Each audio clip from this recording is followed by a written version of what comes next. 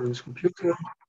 And, uh, welcome everybody. We are already busy with the conversation before we start. we talk about uh, the miserable I, things happening around COVID. Uh, and uh, what were you going to say, uh, Susanna? Yeah, I was just saying that um, it, it, you know, re- regardless of, of what position you're in, but even going through the process of the disease itself and being in an ICU, people are still denying uh, the disease, which makes no sense at that point when your life is in danger and you're dying, you know. Um, so. Yeah. There was a calculation that now at this moment, uh, one in every three families has somebody in their family who died from COVID. Yeah. Right, so that is a huge amount. Now that, that is, there's no country bigger than that. Uh, I mean, UK have a lot of people dying from uh, from COVID, Italy, and all the kind of countries, and they come nowhere near uh, the United States, of course. Percentage-wise, they don't they don't differ very much, all countries, depending a little bit on how fast they were in implementing things um, and how that actually, how, where the difference actually come from. But you can you can really see now we have this peak of 5 million people died already. So that is really like huge amount. And uh, if, if you look at these kind of stories, like one third, no, one in every three families have somebody in their family who died in some countries. Um, and people are willing to believe all kind of things. When you compare with the few, relatively few people who died uh, as a result of vaccination, I, I, mean, I happen to know a few people with adverse side effects, and I do believe that the vaccine is not like a holy solution or anything like that. Um, I don't trust uh, chemical companies very much, med- medical medicine makers. I don't use trust them very much, but that is also ingrained in Chinese medicine. Chinese medicine says like anything you can do without medicine is always better, right? So if you can do it yourself is better. If you have to ask a therapist, it's a little bit less good. And if you have to ask somebody to make you something, yeah, like a herbal medicine or something like this, or a chemical medicine, that is that is the worst. So the chance that you will survive your disease becomes smaller and smaller with every successive step, right? Um, we are, of course, also ourselves, we are in the health building business, which is uh, considered uh, fake news by many people, right? Uh, you have the organizations for uh, quack medicine and stuff like this. While we know that we really try to work from uh, from uh, as much integrity as possible, and you have to stay on tune of all these kind of things happening. And from the conversation that I had with several of you in the last few weeks, I came to understand that I also have to sell the Health Builder program more or less as the alternative for the alternative. so that's very interesting and how we're going to package that uh, that that part of the message. But what is interesting is that uh, for um, how do you say uh, for the whole program, um,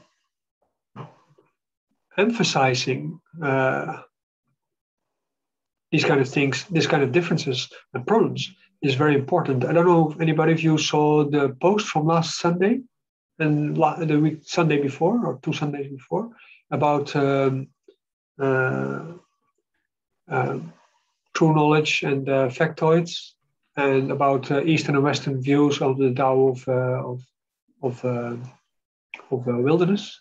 Have you seen it?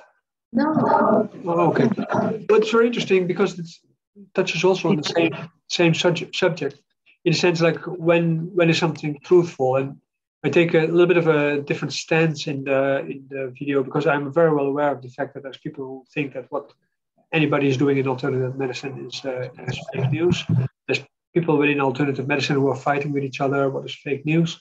And so on and so forth. You see, there is now this dominance of uh, Chinese medicine as organized by the Chinese government which is in itself fake news because of uh, the way how they break with the past. So it's not really Chinese; it's um, Western medicine with Chinese characteristics, um, and that is not the same, right? Um, and you see that people are interested in Chinese medicine, but they don't know much about it. So they get to study Chinese medicine, eventually get drawn into this westernization process. So you see that it has become a loop, and in countries like the Netherlands and the United States, probably the same. During the whole COVID pandemic, you see that people don't really ask for alternatives for a solution. Everybody gets frightened, and they they lock themselves up in their home or they um, or they fall back to uh, regular medicine uh, solutions in case anything help happens. Of course, a minority of people they do try to find solutions through alternative medicine, but it's a really tiny minority. And um, even in China itself, even though there's a large, you know, media attention uh, bought by the Chinese medicine universities and stuff like this to pay attention to uh, to uh, Chinese medicine solutions for it. And although they were active in Wuhan and stuff like this, doing research, um, the active the active participation of Chinese medicine in the whole COVID problem still is relatively low because the government itself doesn't have that much uh, trust in uh, Chinese medicine. Um, not so much because it couldn't work, but because they don't understand the, the, the, the group of people, what they're talking about uh, very much. So that is a very clear. One of the reasons why in the Health Builder program, I emphasized that there is no uh, theoretical uh, foundation required for the classes, is that people can talk from about these kind of things from their own perspective. So what we're going to do today as a practice um, is going to talk about uh, how would you define uh, your practice so far? How would you explain it to other people if you would use your own words and not so much try to be uh, taking Chinese medicine or Kung Fu talking points, but how you would do for yourself?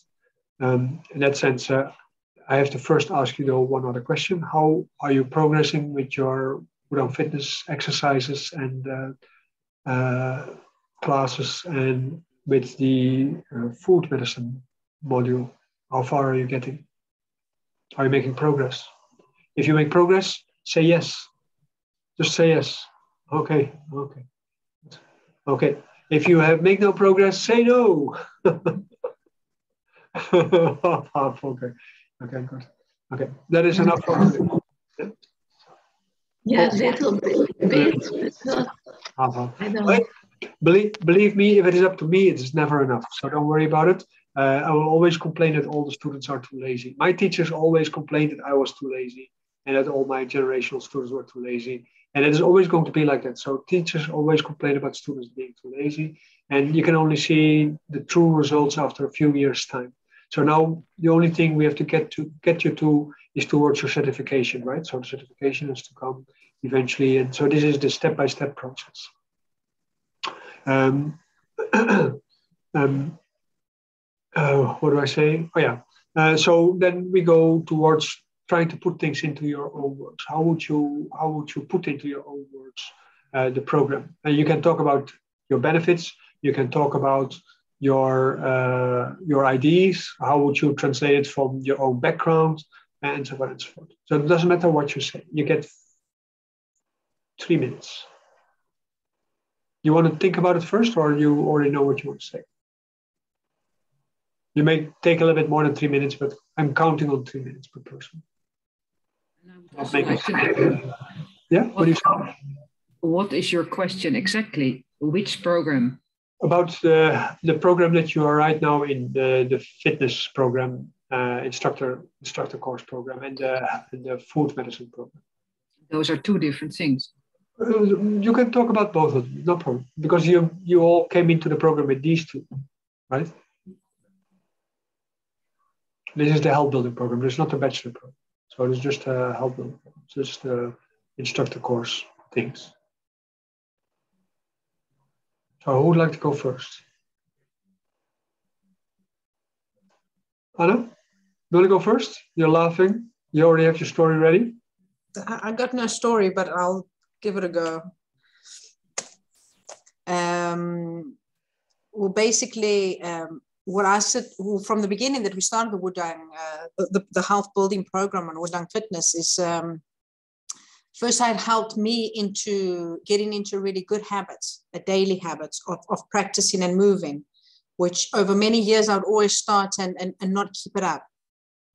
So that, that that for me is a very good talking point of of explaining that it's um it's something that really it, it's uh, it's it benefits you because in society now everyone is sitting too much so we have less movement in our daily daily routine and it's uh, something that there's no pressure that you can uh, perform at any time at your own pace, in your own time, uh, even if it's a couple of techniques, uh, using, training your body to, uh, to use your whole body and shifting and fine tuning your body in a way that um, a lot of other things don't target.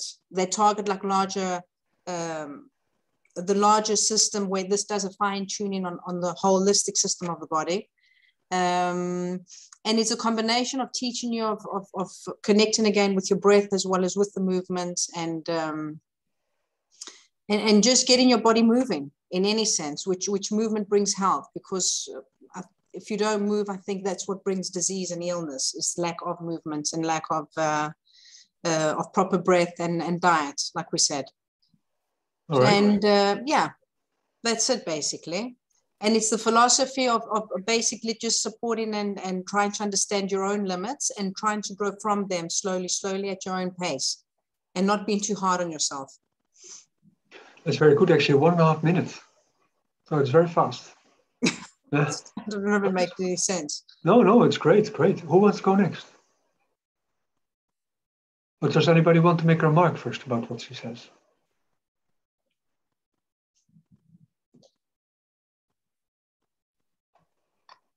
I also, for me, it's new to do regular.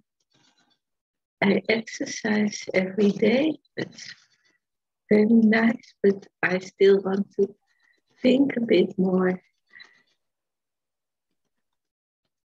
Okay. Anybody else? I just add one thing. Sorry, can I oh, just yeah. add one thing? Um, when you get into the habit of doing something, because we all have good and bad habits in life. So we can all either lose them or build them. Um, when you don't do it, you start to miss it. Your body starts to ask for it. So, that's and that's in, that's in bad habits as well as good habits. So I try to focus that you can you can create good habits in your lifestyle. That's that's definitely also true. Uh, once you start getting good habits, uh, eventually you get averse from bad habits. That's true. Yeah. Uh, in the same way, like if you have bad habits, you get averse from good habits. It works in the same way. It works in the same way. There's no avoiding of good or bad habits once you're in that direction. That's why I always in classes I talk about trends. Uh, you're not having good habits, habits, but you have a trend towards good habits. You have a trend towards bad habits, and it's a matter of uh, diluting the one trend and strengthening the other trend. So it's very difficult to make like a final decision. Say like now I'm going to really start it. But once you start, gradually you start building up better habits. And as a result of that, your better habits become gradually more clear. And you also start noticing changes in your body and you start noticing uh, improvements in your health in general. And that's why we always talk also always about mild mild practice, right? Not not overdo it because this overdoing also creates uh, antipathy. You create aversion because it is uh, also giving you uh, acidification or pains or something. Yes. So you have to indeed, indeed know what is your limits. That's true. Who wants to go next? Anybody?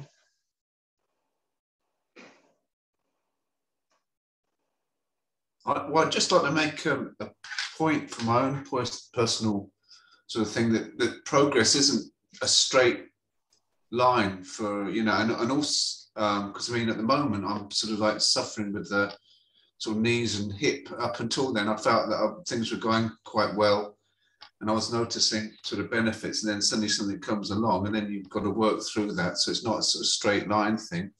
And also, um, when you're doing more than one program as well, it's hard to know whether it's the breath yoga or it's it's it's or the or the bamboo formula qigong, or whether it's the uh, Wudang fitness where the benefits are coming on, or whether it's it's it's a, a combination of them. If you're just doing one, then you could say, but you know, so it's hard really for me, to, for instance, to say this benefit has come from because they all seem to work together.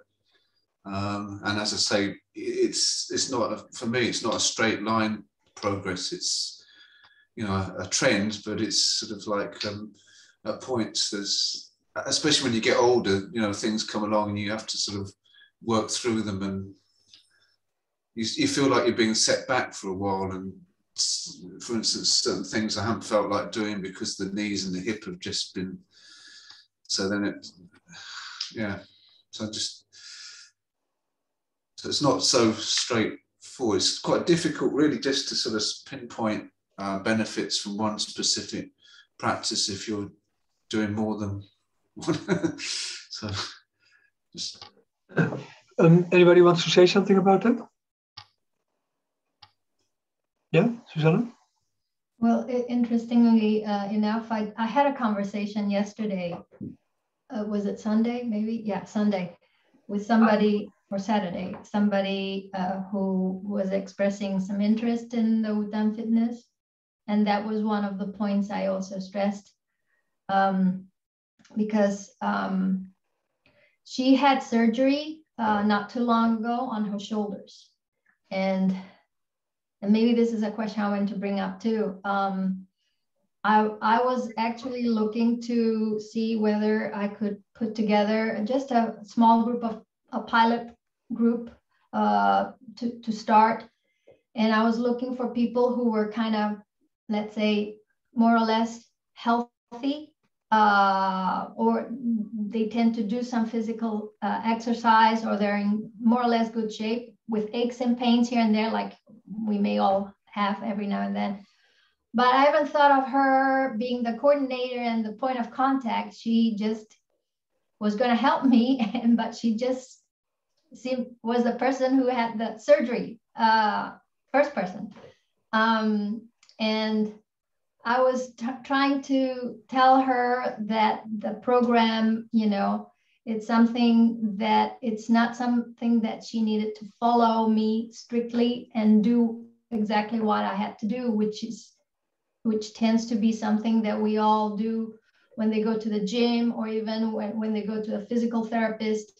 Uh, you know, that, that they're doing, they're trying to do what they're told to do um, rather than doing what their awareness uh, of their body and mind is, you know, of course, you, you're following the form of, of the instructor, but you are also trying to understand uh, where your blocks are and your pains are.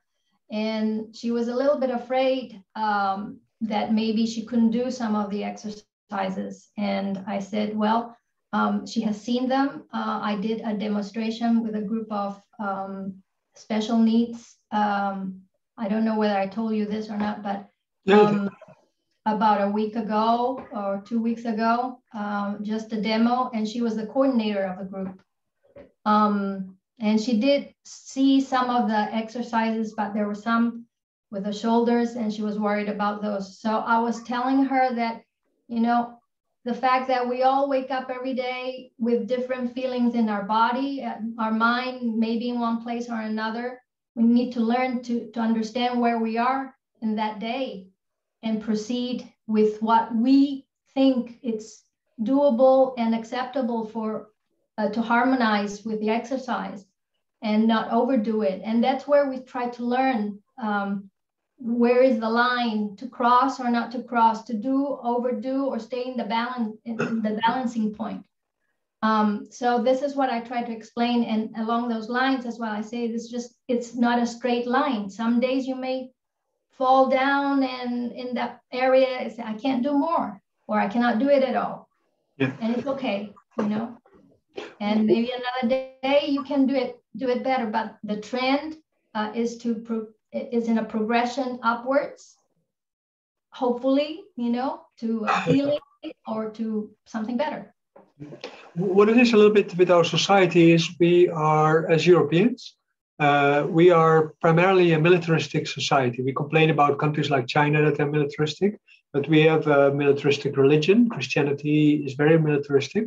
If you look at the angels and uh, the way how everything is being organized, if you look at our education, everything is very linear and you know everything goes in uh, cohorts and stuff like this. And it is very difficult for people to imagine uh, freedom now, we all the time talk about freedom of speech and stuff like this, but freedom we don't really talk about. And I think this is one of the main issues, what you both point out in, uh, in exercise, because what we try to find is freedom, freedom of suffering, basically, right? Uh, this is important in Buddhism, it's important in Christianity, it's important in Taoism, it's important in Hinduism, it's in every religion, Islam also. It is every time it is very important. And at the moment when you when you when you go through this uh, this this process of trying to resolve your suffering and finding freedom, it means that you find freedoms to do new things. You know, you open up yourself and you rejuvenate a little bit. You become a little bit more young.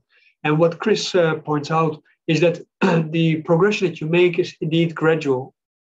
So that means that you know you you go up and down and you go left and right and so you go in all kind of directions. And like what you also point out, Susanna, is that indeed every day you wake up and you have to figure out where you are at that moment right um, we have this idea of the self as a permanent something that is platonistic uh, thought and i always have to laugh a little bit about platonism because it influenced things like buddhism and christianity and all the other things. Because the thought is that this world is basically illusionary. It's not really real but there's a real world behind it. And this real world behind everything is perfect right? And we only have to get eventually to that real world. So we have to transcend ourselves to get back to that world. And then in this um, this idea about that this self is actually this platonic reality inside ourselves right? Uh, this is where the idea of the soul comes from. The soul the self the i this is all the same right? And in uh, christianity it's explained like this and buddhism is explained like that and all these kind of different philosophies explain a little bit different. But in reality every day we are shaping our sense of self through how we are experiencing ourselves, how we communicate with other people, and so on. And I don't know if in this group I ever used the idea of the starfish as a model for humanity. Did I ever use it? Yes, I think so. Yes, I guess. And maybe at the beginning, uh, when I started explaining my idea about humanity, I definitely used it in the bachelor program. That's for sure. But what I what I say, like, okay, starfish and people, they are basically the same. Now we have five legs. Uh, this is uh, two, three, uh, and two below that is uh, five, right? Uh, our sexual organs originally were higher, so I don't call them as legs. And, and they have gradually evolutionary sunken a little bit downward because it was more convenient, maybe easier to protect when we are standing straight up. Um, but um, what happens is that uh, at the moment when we are starfish, you crawl and you're in a crowd. You know everything is pretty much two dimensional. And you have this uh, story about Flatland, right? About two-dimensional people. Everybody knows this uh, story more or less. And this is uh, how creatures behave in two-dimensional world. And starfish live in a two-dimensional world, basically. They can go up and down a little bit, but not that much. And that means that when we are all starfish, to be able to transcend ourselves from this flatness, yeah, we had to go up and we had to go over other starfish. And if we could stand upright, right, uh, then we could see a little bit more of things. So we basically we started building this bone structure and muscle structure in our, our, body. We started differentiating further and further. And as starfish are, uh, all the different kind of uh, animals that are walking around the world, they're all basically adaptations from the starfish model going up. In reality, we all seem to be evolved from sponges and uh, uh mushrooms, but you know, you understand what I'm trying to get to with this story, of course. but at the moment, when we then finally can stand up, then there still has to be this need to fine tune, you know, to make sure that we can make the best out of our body. And so when you have an exercise program like the Wudang Fitness and a diet program as uh, the Health Builder, the food medicine program, and you do indeed also the breath yoga and all the other things, in all these different kind of programs, what you learn every time is you try to, you, you come to understand that your fitness is not just because of one thing. It is because of many, many, many different kind of things that are influencing influencing this. And the whole day through, we're influenced by all kind of things, by the things we eat, drink, uh, where we go, where we travel, how we travel, and so on and so forth. Right. So this this uh, how do you say this the shaping of the trend of our health is actually the most important part. That we are generally going into the right direction, like what Anna said about the good habits. That the good habits actually they change you. So this is basically what it is. And um, once you have a permanent trauma in your body, right? Uh, what's the word that I say? Permanent. Something that is really damaged. It's very difficult to undo permanent damage because you have to grow your bones in a different direction. So it it takes a long time. If there is a growth which is uh, irreversible one way or the other because of a scar or whatever kind of things. Like I know for Marina, she has this place in her hand where the the tissue is winding up because of uh, in Chinese medicine, we call this uh, wood, wood shaping of your hand because of the liver problem. And then at that moment, uh, because of that, the hand gradually crawls in and it becomes harder and harder to stretch it because you know it is really very tight and it is tight, tightened up and stuff like this. And this is how the Chinese medicine sees it, of course. Um, so these kind of things are difficult to reverse. Not impossible, but difficult. If somebody has diabetes, uh, it seems uh, endless as a problem that is only going to get worse and worse and worse because it is gradually consuming your whole body and your whole health. But with the right approach and time, yeah, because that's the most important thing, you can gradually bend it into another direction. Not everything you can bend in other directions, but there's a lot of things that have a bit of flexibility and they need a disciplined and a broad spectrum approach to gradually bring them into change. And this this health builder program, all the different kind of things, they they they allow the body to free itself a little bit so that corrections can be made by themselves. Like good diet makes makes the corrections, good exercise makes corrections. But one way or the other, it can't be military, right? So for many people, it is very difficult to accept the fact that they can do something in a non-military way because we have never been raised like that. So that is one of the difficult things for most people when they start uh, to take the freedom to adapt it for their own needs. Yes. And that is why the Wudang Fitness is a great program because you as an instructor, every time when you give a class, you give another class, right? You never give two times the same class. So for students, they don't learn a form. Like when you do the Bamboo Formula uh, class, is every time it's the same. You can shift the attention a little bit, uh, but the the change that you get comes from that repetition, while the change that you get from the Wudang Fitness is from the change. Right? So that changeability helps you to uh, emphasize a particular kind of discipline, uh, which is based also on something that you really have to work on, while at the same time uh, take freedom. Yes? Another thing I wanted to also say through another conversation, and this will be part of my three minute uh, speech okay. well, okay. Uh, in addition to what I already said. Um, you know, I have been um, talking with some people in my uh, personal circle, uh, those that I thought that would be more open to a different practice from the Qigong, the Qigong that I, I do. And one of the questions that came up from one of the um, practitioners is that why why is there would be a need to do this if we already are doing a practice like qigong um, that is holistic and it's going to take care of of everything right? Um, and make us stay healthy and, and all of that. That's been pretty much embedded in in, in the whole teaching and practice uh, of the from my teachers and the practitioners so, so I, th- I thought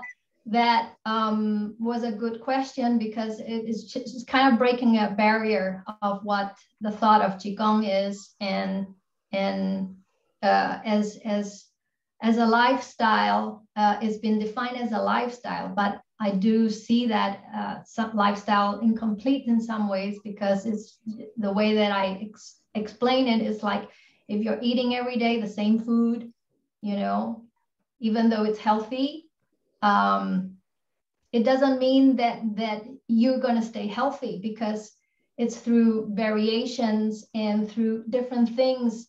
Our body uh, you know we are human. We, we don't relate to one thing only. Our, our body and mind needs different things and we try to adapt to different things that can suit us. Um, so we, we need to find that sweet spot and, and relate to what's happening uh, you know, and it, so I, I, try to explain that. It was difficult sometimes to explain this, um, but it's basically kind of going back to the point of what are you feeling and what, what, are you trying to make your body healthy how you know? There there's always something that it's not doing well and something that you can improve. You know it. And i know through my qigong practice that's not enough because through my and these people have practice and she still has anxieties and she still has you know all these other things so that's a proof that there's something that's still not complete it's not wholesome in that aspect. So it's it's a way to also complement the practice of Wudang fitness to complement as another way of integrating that holistic health with this different as a tool and it's a much freer tool than the practice itself because as you mentioned earlier it's more militaristic so i practice as a habit every day the same posture but my muscles are not going to move more than what I do every day with one posture, you know? So uh, yeah. that was my point. That is also exactly what uh, I had as a observation before I started this whole Daoland program. Is that people usually get stuck in a limited routine, and that routine is promising because of the marketing of the routine that it's going to solve everything. And nice example is the Baduan Jing, the eight brocade uh, practice, which is basically for lazy Confucians to at least do something. I make jokes about it many times.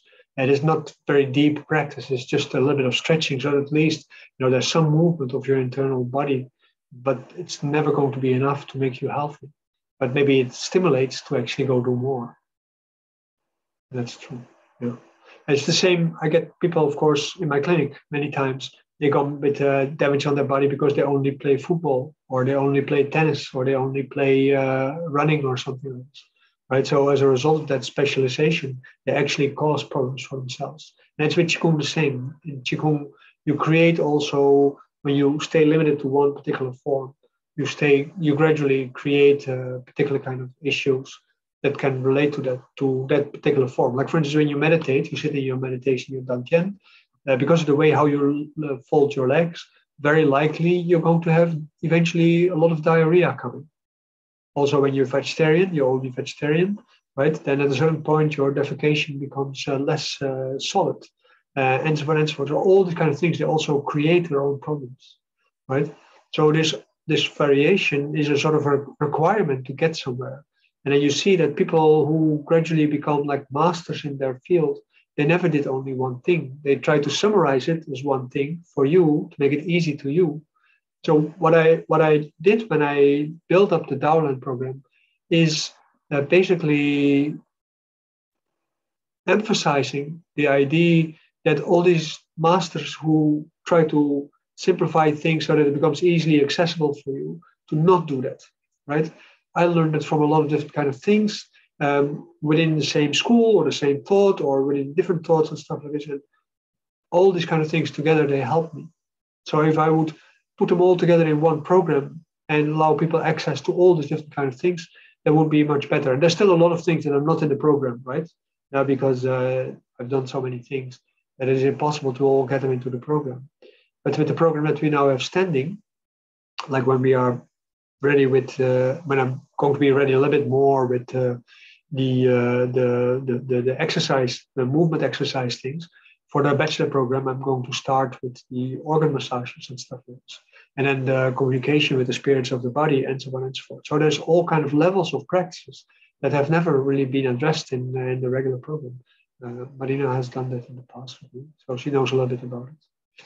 Yes, uh, but you you you see that there's a lot of things that still also can add one way or the other, and they're not going to be all. None of them is going to be like the final solution, and you have to find your way through all these programs eventually to figure out what works best for you. So the combination that Martina finds for herself, that is her main, going to be her main routine, or Anna or Marina or anybody else, is going to be very different from anybody else. Yes? And nobody can do everything all the time. And unless when you indeed practice every day 10 12 hours uh, which is probably unlikely. That's for most people. Yes okay anybody else wants to say something? There three minutes? Yeah. I've been um, yeah. Who's uh, going to talk? Yeah you, you I guess it's good. Uh, martina says like no no no.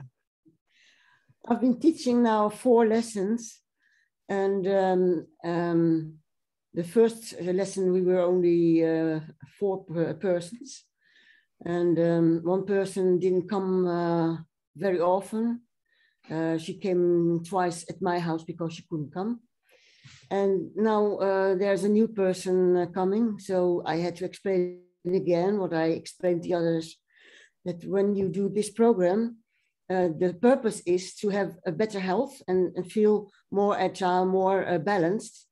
So um, we start easily and uh, the purpose is to be able to do 40 minutes in, in a row. But in the beginning, it's not possible because all my uh, people are have, have something, uh, Parkinson's, MS, or rheumatics.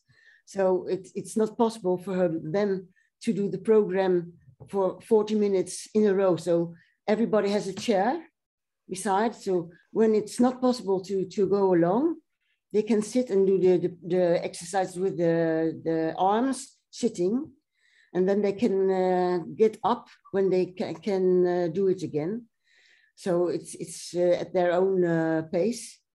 And um, the breath uh, changing, I don't, uh, I'm, I'm not so very strict. So it's, it's their own body. They have to listen to their own body. If they can do it quicker and have the same breath rhythm. So it's, I let a little bit, a little bit of their own initiative to, uh, to do the practice this I show them. And I think it's, it's rather good. They understand.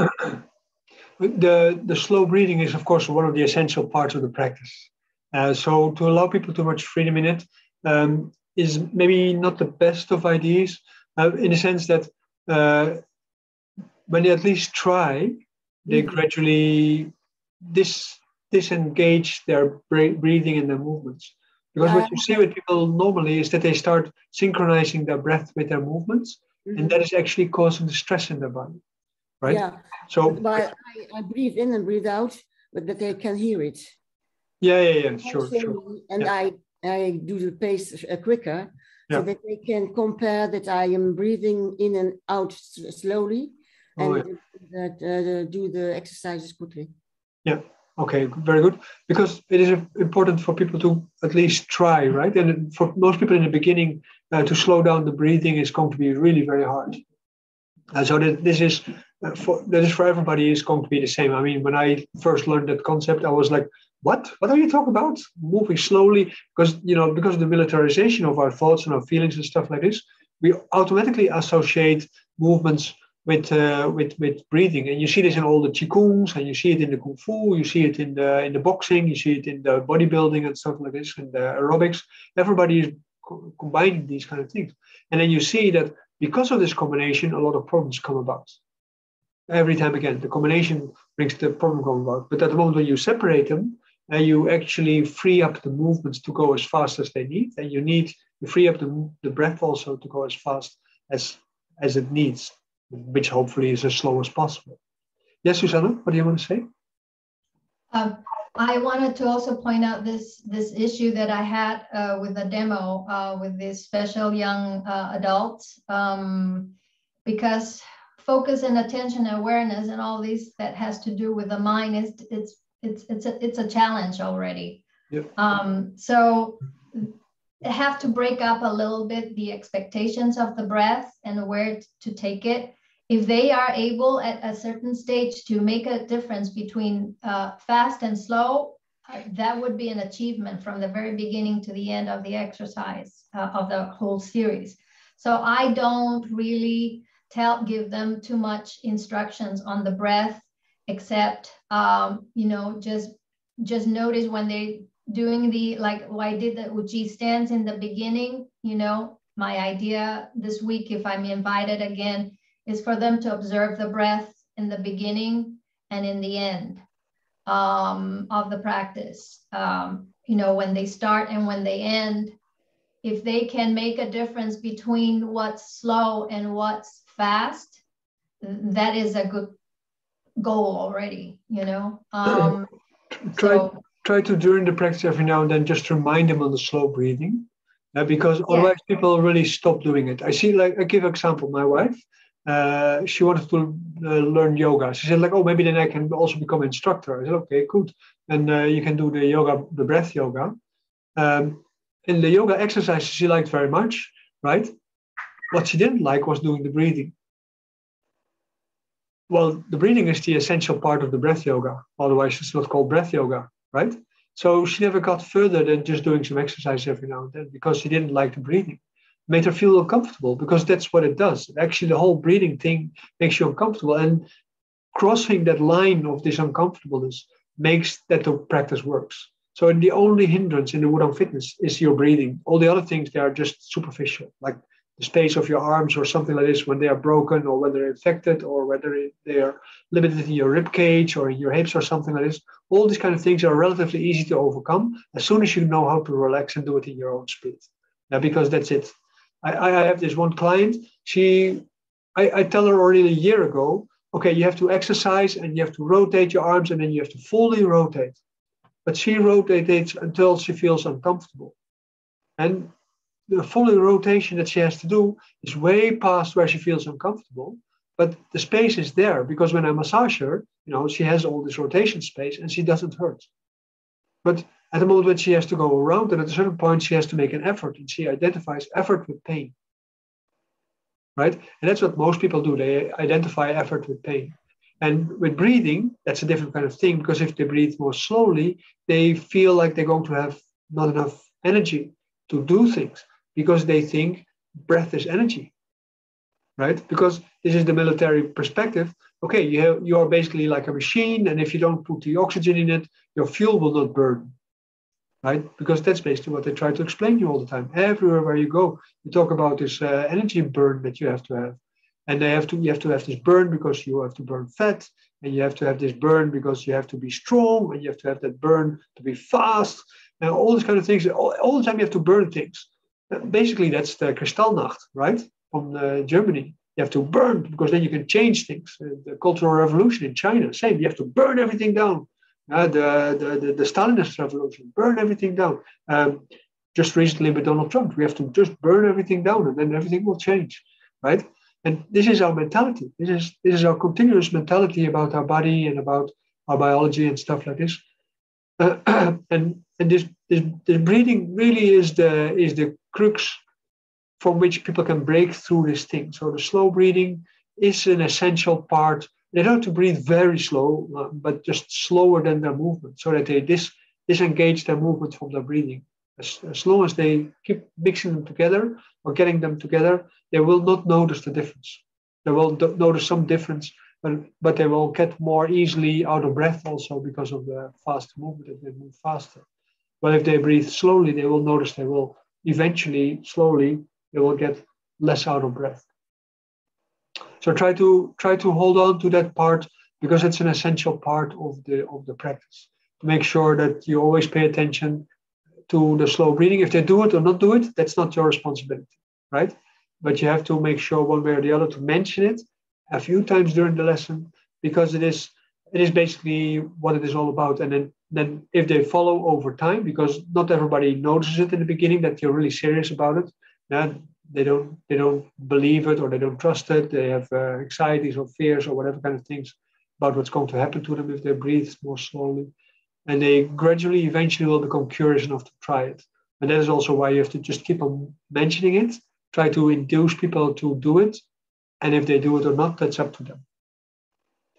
Yes. So you don't have to worry about that part because you're only there as an instructor. You're not trying to teach them that this is working like that. You just have to try to show them that if they breathe slowly, it will work like that. And you try to make them hold on to the slow breathing over time. I mean, for myself, sometimes I forget to breathe slowly with some exercises because I'm getting so excited by these exercises. I'm almost like this, same. Yeah. but if I run, for instance, uh, like I run to the school with my kids sometimes, I try to breathe as slowly as possible because then at that moment I can run the whole piece in, in one time. If I re- breathe because of the pressure I feel from the running and I follow my, my running uh, instead of my breathing, I get I have to stop like 10 times. Um, well, I live just a kilometer, two kilometers away from the school. Yes, so that's just automatic, it's just part of the part of the thing. And this is this is how you gradually also overcome your weakness. That's like building the good habits that uh, Anna mentioned. And that also is, of course, from one day is it better and the other day is worse, like what Susanna also explained. Same. Yes?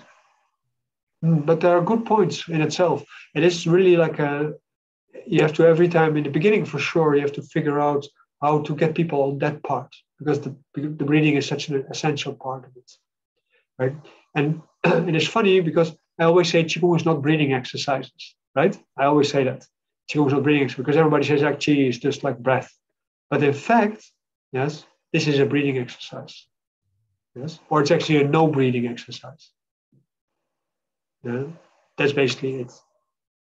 But Qigong is a no breathing exercise in general. So that's the difficult part. And there's another funny thing with it because when you do the bamboo formula Qigong, it is bamboo formula because it's a formula. All Qigongs are formula exercises. And the Wudang Fitness is a formula exercise, but it doesn't have a clear form. While the bamboo formula Qigong is really very clearly formed. Right? So these are these are different things. Great, uh, and uh, great, Susanna, both of you, all uh, good uh, good remarks. And anybody else want to say something, Marina or Martina? You already get up with the story in the meantime? No? Maybe next time. It's okay, no problem. well, there's one thing, or well, one subject that is maybe uh, not covered already by the others. Um, somewhere in the beginning you also said it's also important to try to figure out how you can use the things that you learn in Wudang Fitness outside in daily life, so outside of the exercise time.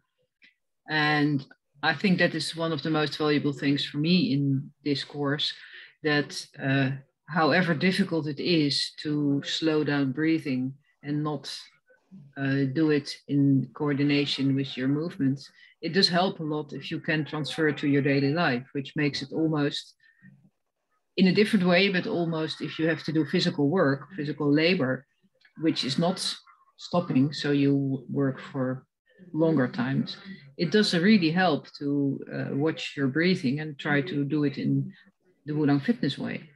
And therefore, and that helps also in daily life even if it's if the direct effect of the exercise you do in the Wudang fitness are maybe not beneficial for what you do in your work, that part can be very beneficial. That's right. Very good. Uh, it is indeed uh, like that with all the of programs, the whole Daoland program is when you can transfer it to your daily life. Uh, that's the most important part. And I remember uh, one uh, one participant in my regular Zhongwu classes long time ago, and uh, he stayed in the class for about a year, and then he got too busy with his work and he couldn't come anymore. And then I see him like uh, ten years later or so, and he says like, "I one thing I never forgot uh, from all your practices is make sure that the three gates are open. So whatever whatever I do, and I open up my joints, I stretch out my arms sometimes. I'm typing a long time. I'm sitting like that for for a while, and if necessary, I go stand in the wide stance and I do like that for like five minutes because longer I can't do it. But then I can immediately work two hours again. So this is something that stayed in the body and uh, I could every time do that again. So that helped me always. Um, but the fact that he works behind the computer, he does a lot of editing work. He's a he's a video maker, a movie maker actually. And that was actually like a, the biggest help that he ever had in his whole life uh, as, a, as a contribution. So he doesn't do the practice anymore, but he transferred it accurately into his daily life. And as a result, that he was able to do all kinds of things that he wouldn't be able to do before. And I very often, since that time, I, I point out very often, like everything you do in your life is exercise. Now, the Daoland program is based on everyday life activities, right? It is not based on trying to make your life fit with your exercise. It is trying to fit your exercise with your activities. So the intensity of the exercise and the intensity of your life should be more or less on a par, right? Not too much different. And then at the moment when you when you are able to do that, you see that both of them they gradually increase. So your daily life gradually increase and your exercise level gradually increase. And then the principles of the exercise can be applied in anything, whether it's from Bamboo Movement, Fitness, or the breath yoga, or uh, whether it is uh, from um, meditation or something like this. It doesn't really matter. All these things they apply to your daily life. You do them all day through, basically, all day through, and then you make everything into exercise. And that's good because every day is a preparation for the next. Yes. There's no there's no final day, you know, hopefully. yes? Yeah, Anna, what do you want to say? Dat doe, doe ik ook wel, every day. Good. Anna, what did you want to say? Um, I just want to go back. Um, what was it? Two questions before that you were speaking about variation of you know of doing the breath yoga, of doing of having a variety of things, um, of how important it is even in our profession. Uh, I've seen so many people maybe doing, let's just take massage, which is very the same thing for the for, for two years or three years, and how they actually end up uh, doing harm to their body. Mm.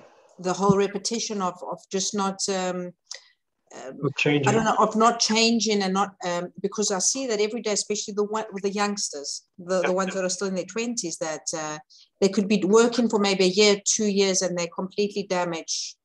The lower back, the upper back, everything is. Um, and I see that no one really has the need to to learn new things to make a combination because um, I've been doing this for 20 years, and, and everyone will say even once a week the treatment will always be different because you adapt so you don't live in that routine, which yeah. it comes with the same comparison as even exercising because we are working with our bodies. And if you do that, I know people were counting treat, uh, movements.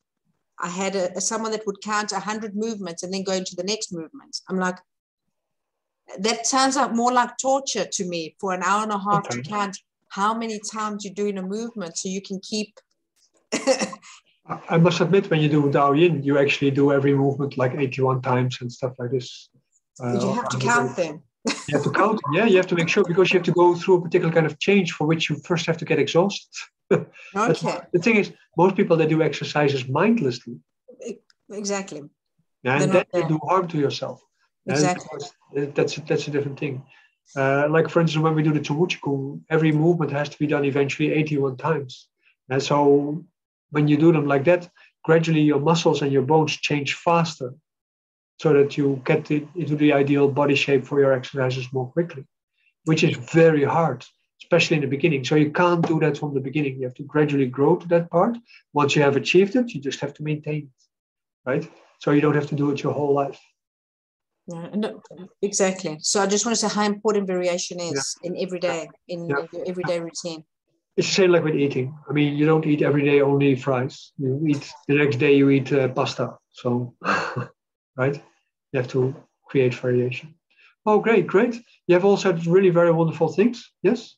Um, anybody wants to add something to it? Oh, I have a question. Yeah. Um, it uh, in, in one of the things that we always uh, insist with the um, Qigong that I practiced in Bichanan is that if somebody cannot do a movement or it's difficult, they can just simply uh, use their mind and imagine that they're doing that movement. Um, what are your thoughts on that? Can we use that kind of uh, idea also with the Wudang fitness? That is to encourage people to say, okay, I can't move my shoulders, but you can imagine that you are moving your shoulders like this, like that. It's a little bit of a difficult issue to say that because yes, uh, use your mind for something helps. Uh, if you can do the exercise and then you cannot do it anymore, but if you cannot do it yet, it doesn't work because then you make a mental projection, you make yourself very satisfied, but you don't add anything to your body because your body cannot recognize the move. On the other hand, if you are like lying flat in your bed, yes, you can imagine that you make muscle contractions because you have to, for instance, you have to gradually relearn how to use your muscles, right? So then you're imagining that you're making muscle contractions. Um, in a similar kind of way, if you can't lift your arms anymore, you can uh, imagine yourself to make this movement again to try to get your body to activate like that. So on that level in Qigong, using your imagination to do something or your intent, actually, not so much your imagination, but your intent, you try to do the movement. But maybe your intent has to swing it up a little bit more. So it's not like instead of, but as a starting point. And, and, and then at the moment when you have done it and you can't do it anymore, then just uh, imagining it can already help you go through the routine of your exercise. Like one thing that we do in Tai Chi Chuan, once you get past a certain kind of level, you start sitting and meditate, you go through your Tai Chi Chuan routine only in your mind. Now you have already worked with imaginary boyfriends and stuff like this. And at a certain point, uh, you can do it inside your mind. And then at that moment, you can feel all the change that your body goes through. You can feel inside your body because of what you have learned before, right? And then, then it actually works. But if you have never done the exercise before, it actually doesn't add anything to you. And it's just a mental projection, makes you feel satisfied. And that is what most people seek for in, in when they do Qigong. They, they try to feel satisfied about things. Um, you have not, you have to I think we have to remind ourselves when we are giving classes that a lot of people they are in the class because they are unsatisfied about their life and about their feelings and about their success and so on and so on. So the look for means to be successful in, in, what they look for, if it is in being a good husband or wife, or if it is in a good being a good child to their parents, or if it is in uh, being a good worker or being more successful in whatever kind of work they do, or sports or something like this. So they have all kind of reasons for which they try to look for an enhancement. And Qigong has this image as if it makes you happy and successful and stuff like this. Like yoga also has this kind of image. They try to build on that image. And the thing is that if your body functions better, yes, you will be successful in all kinds of things. If you need to be, right? But then you have to put the work and the discipline still in it. It's going to be the same, and it's with exercise the same. Actually, Qigong is a means to learn the kind of discipline, the kind of attention, and trying to get past your fear for doing a particular kind of movement. Uh, so, in that sense, uh, from traditional perspective, um, about movement, mm, just working from your mind is not going to be enough in most cases. I cannot say 100%, but in most cases, it will not be enough to actually get people to actually do the movements or to get that kind of improvement. But some people are very able to give themselves this physical experience when they move through the body. But because people focus on energy, it's mostly just mental projection. Yes, because Qigong is about moving your body primarily. And if you, like what we saw with Agnes also, if you can't move your arm up or you can't stretch it out, by every time trying to do it, gradually you get more space. And sometimes you have a bad moment. It feels like, oh, no, not now. Yeah, but most of the time, eventually you get it better and gradually over time, maybe after years, you know, you think back and think, hey, I didn't have that problem before. This is how it works. Yes? So the intent is always in the actual movement. But, but for instance, if somebody does do Tai Chi Chuan, I listen always to my own attention, how it reflects on my body. If my body doesn't react on somebody else's body, that means there's nothing there. Right? That somebody doesn't do anything. So I, if I look at my students and I, uh, whether I see it on uh, on screen or whether I uh, see them in uh, life, I always pay attention to my dantian and uh, see if it reflects. And if I can feel the reflection, I know like okay, they're really practicing. If they're not really practicing, then there's nothing building up on the inside. And so that is very visible from the top, looking from the top down, so to say. That is very visible. And with most people that I know that are practicing Qigong, I see them practice and I see them show demonstrations and stuff like this, and nothing very much happened. Uh, so then you can say like, okay, so they have been exercising, but they haven't done qigong. So that's the difficult thing. And if you don't see somebody practice, you can't know that. Now, because things don't resonate. It's just about resonation. It's just a natural thing. Yes. It's not that somebody radiates energy or something like this. It's just that, uh, like, when you have two guitars next to each other, you pluck one snare on the one and the other one is tuned in the same way, it will also vibrate. This is what it is. Yes? Okay. Very good. Well, I think this was a very interesting conversation. I'm definitely going to use some of the pieces from the conversation of today as part of the promotion from the app also, because you have said some really very wise uh, things and uh, uh, they're really. I think a lot of people should know about them. I should also write it out probably and uh, try to see how uh, the how how that would work out as a textual thing. So uh, I'm going to think about how to use that properly. But anyway, it will be somewhere visible in the app, this video, where people who are not part of this program, uh, they also can uh, see it when they just enter the app. And I don't know exactly how to do that, but I will figure it out. Yes? All right very much thanks for today. It was a very nice conversation. I hope uh, everybody will be up to speed next week, and uh, I hope to have uh, the other chapters ready. I was uh, I had chapter three and four from the food uh, app ready, but I can't find them anywhere anymore. So I don't know what I did with them. I must have by accident deleted them or something. I have no idea. Can't find them. Yeah, so I have to do them again. I've been looking at it the whole weekend to install them before the the, the day today started. And that's also why we got a little bit different program today than originally planned. So great. Are you going to? Oh, Hold on. I'm first going to stop the recording. I have to get my mouse ready. Yeah.